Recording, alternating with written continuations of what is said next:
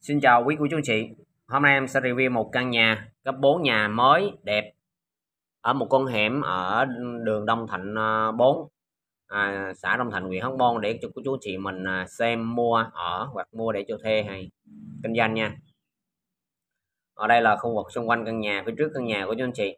Nhà phía trước có hai lớp cửa, cửa chính là có hai lớp ha, bảo vệ nhà. À, phía trong thì à, có phòng khách rất là đẹp cô chú anh chị nhà này à, nhà mới của chú anh chị mình mua ở liền luôn không cần sửa chữa sang gì hết trơn. Chủ à, đã làm lại à, rất là ok rồi của chú anh chị. Diện tích của căn nhà là ngang 4 dài 14 mét của chú anh chị nha. Hẻm trước nhà hẻm 3 mét chuẩn. Đường xe hơi tới nhà.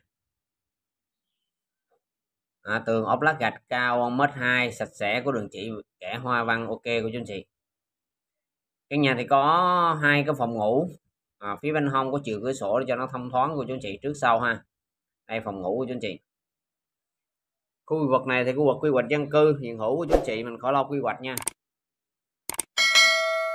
Ừ. thì vị trí nhà của chú anh chị mình đi đường à, Nguyễn Anh Thủ chạy xuống hương lộ 80 của chú anh chị.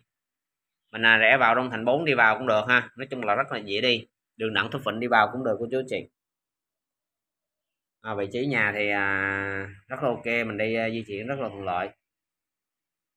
Khu vực nhà bếp của chú anh chị ha rất là đẹp luôn. Cho anh dưới có tủ bếp gia chủ đã thiết kế sẵn cho mình rồi. À, tường thì có dán à, một cái à, meca màu xanh à, rất là sạch sẽ.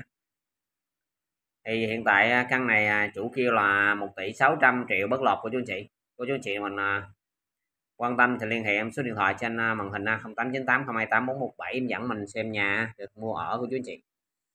À, cô chú anh chị mình theo dõi thông tin à, video thì cũng đừng à, quên cho mình được một lượt like lượt share và một lượt đăng ký kênh của kênh của chú anh chị nha.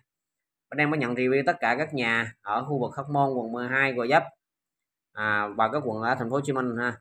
Cô chú anh chị mình có sản phẩm thì à, cần bán thì liên hệ em. À, em à, review và có video sẵn như này thì à, gửi em em à, đăng bán phụ của chú chị. Cảm ơn quý cô chú chị đã theo dõi thông tin. Xin chào và hẹn gặp lại ở sản phẩm tiếp theo.